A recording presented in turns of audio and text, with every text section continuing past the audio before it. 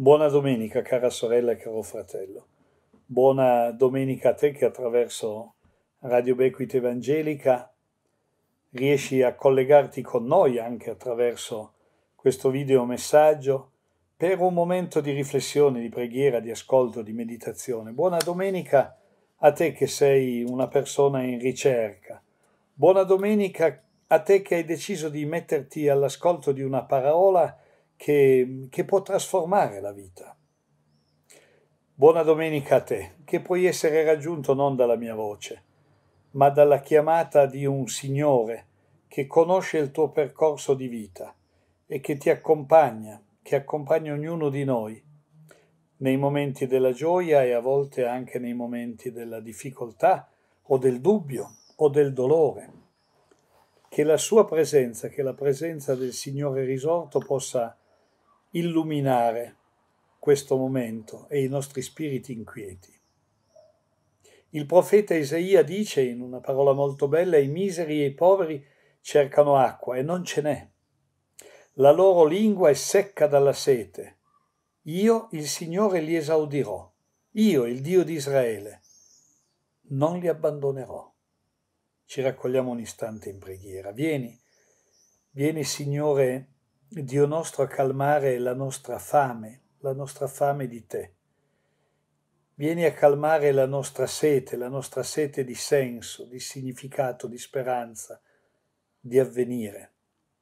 Vieni, Spirito del Signore, a prendere dimora in noi e ad accompagnarci. Amen. In queste due prime domeniche di luglio vorrei proporti due brevi testi che sono tratti dal quarto capitolo del Vangelo di Marco. Il primo, quello di oggi, sono due brevissime parabole. È Gesù che parla e che dice il regno di Dio è come un uomo che getti il seme nel terreno e dorma e si alzi la notte e il giorno il seme intanto germoglia e cresce senza che egli sappia come. La terra da se stesso porta frutto, prima l'erba, poi la spiga, poi nella spiga il grano ben formato. Quando il frutto è maturo, subito il mietitore vi mette la falce, perché l'ora della mietitura è venuta. E poi Gesù diceva ancora, a che cosa paragoneremo il regno di Dio? Con quale parabola? Lo rappresenteremo. Esso è simile ad un granello di senape, il quale quando lo si è seminato in terra è il più piccolo di tutti i semi che sono sulla terra, ma quando è seminato cresce e diventa il più grande di tutti gli ortaggi e fa dei rami tanto grandi che all'ombra loro possono ripararsi gli uccelli del cielo. E Gesù non parlava loro senza parabola, ma in privato ai suoi discepoli spiegava ogni cosa. Gesù dunque parla in quasi tutte le sue parabole del regno di Dio. Ci sono molte immagini che lui utilizza, ma in queste parole di oggi il regno di Dio viene paragonato alla leggerezza, diciamo così, di un piccolo seme un piccolo seme che cresce da solo. Nelle nostre chiese noi continuiamo molto spesso, ma io credo in tutta la cristianità occidentale, continuiamo ad ascoltare voci di preoccupazione, anche molto grave, di lamento, che parlano della secolarizzazione, del fatto che le persone si sono allontanate non tanto dalle chiese ma anche dalla parola di Dio e sono tutte considerazioni condivisibili se guardiamo la nostra pochezza ovviamente. Ma oggi queste due piccole parabole provano a dirci qualcosa di diverso, sono delle sensazioni diverse che io vorrei condividere con te. Il, il termine regno, anzitutto, tu come lo tradurresti? Nel Nuovo Testamento indica tante cose diverse e è un territorio governato da un re, ha un carattere di regalità, Regno è anche l'esercizio di chi esercita il potere su un territorio. Regno di Dio, forse tu mi potresti dire, è ciò che, è ciò che dà senso alla vita. E la ragione per la quale ti sei messo all'ascolto questa mattina e la prospettiva sulla quale vuoi scommettere o vuoi provare a scommettere la tua vita, insomma, anche nel momento in cui prendi congedo dalle persone che tu ami. Regno di Dio è anche la speranza che ti sorregge quando attraversi, come me, la dimensione della malattia, della sofferenza. Regno di Dio è ciò che ti consente di ritrovare la voglia di lottare. Quando la stanchezza aumenta, quando passano gli anni, quando la fragilità nostra diventa più evidente. Nella parabola di oggi Gesù parla di questo regno. In quelle precedenti, molto, nella parabola precedente, che è molto più conosciuta, quella del seminatore, Gesù aveva già detto che il regno di Dio è una realtà debole, un Dio che sottomette la sua parola, il seme del suo regno in questo mondo, a tutti i limiti ai quali sono sottomesse le nostre parole, le parole umane. Una parola dunque che può incappare in tanti ostacoli diversi, che può essere soffocata la parola di Dio, che può essere ignorata, messa da parte, resa arida. E così riflettiamo su queste due piccole parabole oggi. Noi sappiamo che per il mondo protestante, per gli ambienti protestanti, non è facile a volte parlare di regno di Dio. Forse per i nostri fratelli e le nostre sorelle cattoliche è più semplice, perché in qualche modo la Chiesa, la dimensione della Chiesa assume la valenza o il significato del regno di Dio. La Chiesa diventa la prosecuzione del corpo crocifisso di Cristo in una certa teologia cattolica. Per noi la situazione è più difficile e meno definibile. Eppure noi sappiamo che Dio è all'opera e che la sua opera procede, va avanti e cresce. Queste due brevi parabole sono un antidoto contro la rassegnazione, contro le persone che vendono sempre tutto nero, ecco. Una rassegnazione che molto spesso un disincanto, a volte addirittura un cinismo, che alberga anche nelle nostre chiese e nelle nostre vite lo dobbiamo riconoscere. Allora Gesù dice guarda che il regno di Dio cresce mentre tu non te ne accorgi, mentre tu non fai nulla.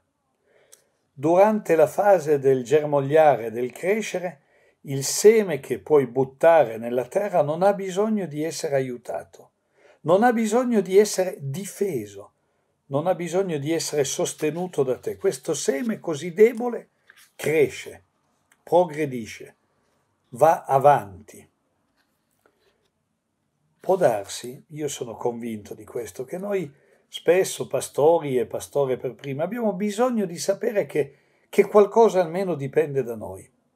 Invece questa parabola ci impedisce, ci vieta qualsiasi presunzione. Non c'è nulla che dipende da noi. Dipende tutto da Dio. Noi siamo chiamati semplicemente a buttare un seme, ecco. E questa parabola ci mette al riparo anche dalle frustrazioni, perché se poi non vedi dei grandi, dei grandi risultati, immediatamente ti senti frustrato. Qui ci viene detto che ciò che è piccolo, insignificante, diventa grande, a prescindere da quello che tu fai. Conosce una trasformazione straordinaria, diciamo così. E l'agire di Dio è esattamente questo, ciò che è piccolo diventa grande. È uno dei paradigmi principali della Bibbia questo. Ti racconto un, un piccolo fatto, un commentino rabbinico. Ci viene raccontato in questi racconti che sono ricchissimi di dettagli e di indicazioni. Ci viene raccontato che quando gli ebrei fuggirono dall'Egitto, portarono con, con loro i resti, portarono con loro le spoglie di Giuseppe. sai, Giuseppe, il patriarca, ecco, che dopo tutte le sue vicissitudini era stato venduto, come sappiamo, dai suoi fratelli come schiavo, ma poi era diventato una persona potentissima in Egitto presso il faraone. E Giuseppe aveva espresso il desiderio di essere sepolto nella terra di Canaan. E così quando gli ebrei fuggono dall'Egitto, portano con sé questi resti. E quando Mosè arriva davanti al Mar Rosso, ci dice questo racconto, ordinò le acque di aprirsi per lasciarli passare. Ma il mare, il mare dei giunchi, quello di cui parla il libro dell'Esodo, gli rispose, ma perché dovrei obbedirti io? Io ti ho preceduto di molto nell'ordine della creazione, io sono più importante di te. Però poi le acque del Mar Morto videro quello che rimaneva di Giuseppe, undicesimo figlio di Giacobbe, vilipeso dai suoi fratelli, che poi lui salverà, come ricordi, dalla carestia. Ebbene, quella piccola esistenza perduta divenne ministro del faraone. Così il Mar Rosso capì che non è necessariamente ciò che viene prima a dover essere sempre primo, a dover sempre prevalere, e lasciò che le sue acque si aprissero e gli ebrei potessero incamminarsi verso la libertà e verso la vita.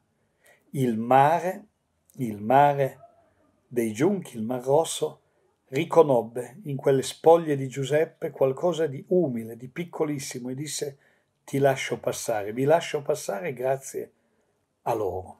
E io potrei fare molti altri esempi perché Gesù nei Vangeli utilizza ed insiste continuamente su ciò che è piccolo, su ciò che è umile, su, su ciò che è irrilevante, su ciò che è seme e ci dice in ogni istante che, che ciò che è piccolo può diventare grande, diventa grande attraverso l'azione di Dio. L'esistenza stessa di Gesù è stata un'esistenza irrilevante, non ne parlano i libri di storia. Non vi sono cronache di quel tempo che raccontano che cosa Gesù abbia fatto, quali guarigioni, quali miracoli, nulla di tutto questo. Eppure quel seme che è stato gettato sulla croce del Golgota in quella notte lontano è diventato qualcosa di importante, è diventato la ragione per cui tu mi stai ascoltando oggi. Tu puoi sapere dunque sorelle e fratello, e puoi credere che la tua vita non sia un puro processo biologico, ma sia invece una piccola, piccolissima realtà, però attesa, accolta, benedetta, custodita da Dio che la vuole nel suo regno.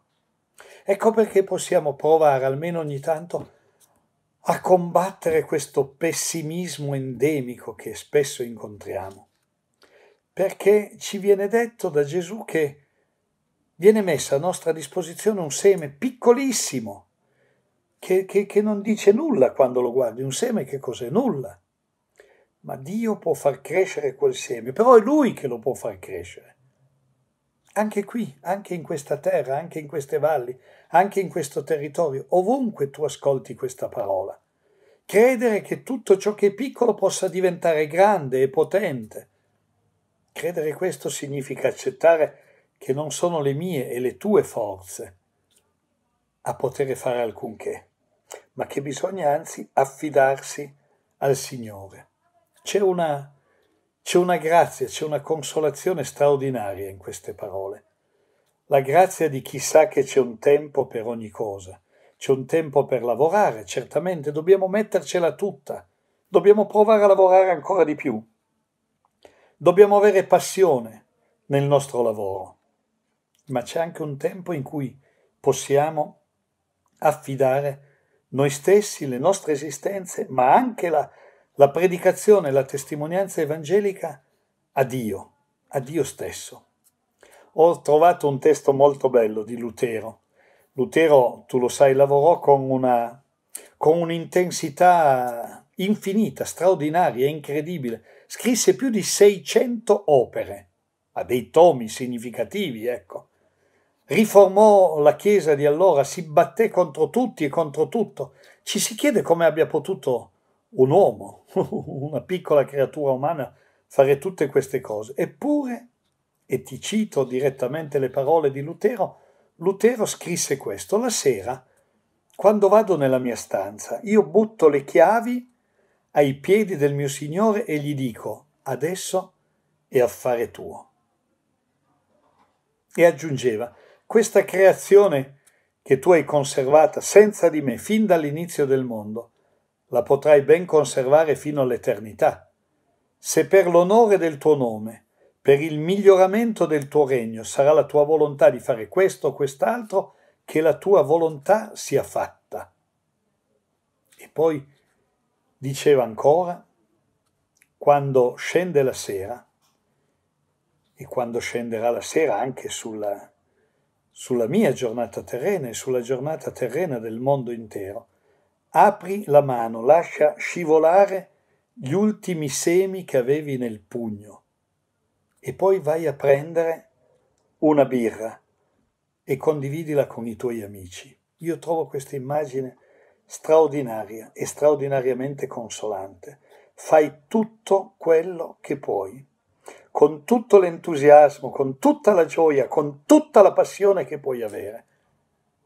E poi butta le chiavi al Signore, lascia che sia Lui a portare avanti ogni cosa. E tu, se ce la fai, vai a bere, come diceva Lutero, una birra con i tuoi amici, così potrai poi prendere sonno e addormentarti nella pace. Amen.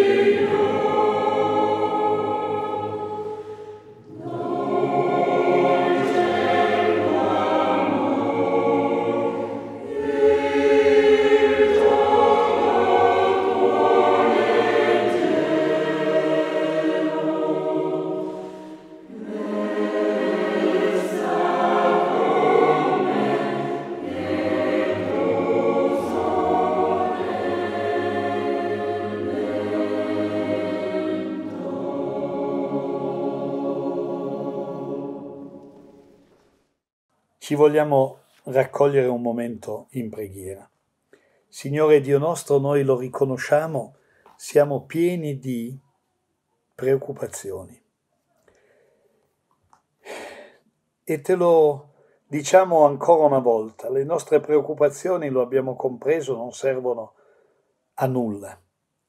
Fa che possiamo impegnarci in questo mondo per renderlo un poco migliore, un poco innocente, con tutte le nostre forze, con tutta la nostra gioia, con tutta la passione e l'entusiasmo che possiamo avere, ma poi insegnaci anche ad affidare ogni cosa a te. Il nostro lavoro, la nostra testimonianza, i nostri progetti, le nostre stesse esistenze. Sei tu che guidi ogni cosa, sei tu che puoi guidare ogni cosa. Ci vogliamo affidare a te, tu reggi il nostro destino, reggi il destino delle nostre chiese, reggi, reggi il destino dell'umanità reggi la nostra vita e la nostra morte e noi possiamo affidarci soltanto a te. Ti preghiamo per tutte le persone che conoscono la dimensione della malattia, del lutto, della depressione, della solitudine, che hanno paura del domani. Fa che tutti e tutte insieme possiamo affidare a te le nostre domande che sono rimaste senza risposta e le nostre paure e saremo davvero liberi.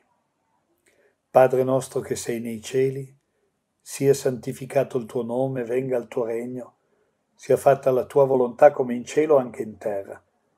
Dacci oggi il nostro pane quotidiano, rimettici i nostri debiti, come noi li rimettiamo ai nostri debitori, e non ci esporre alla tentazione, ma liberaci dal male. Tu è il regno, la potenza e la gloria, nei secoli dei secoli.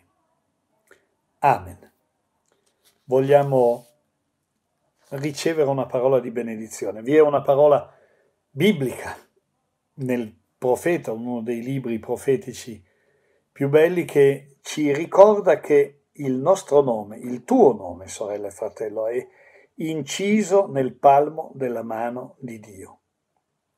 Qualunque siano le tue difficoltà, il senso delle tue colpe, delle tue cadute, dei tuoi fallimenti. Ricordati che il tuo nome è inciso nel palmo della mano di Dio. Al di là della paura e dell'incredulità, sappi che il tuo nome è lì, inciso nel palmo della mano di Dio. Tu sei amata, tu sei amato da Dio. Vivi nella sua pace e vai nella sua pace, ora e sempre. Amen.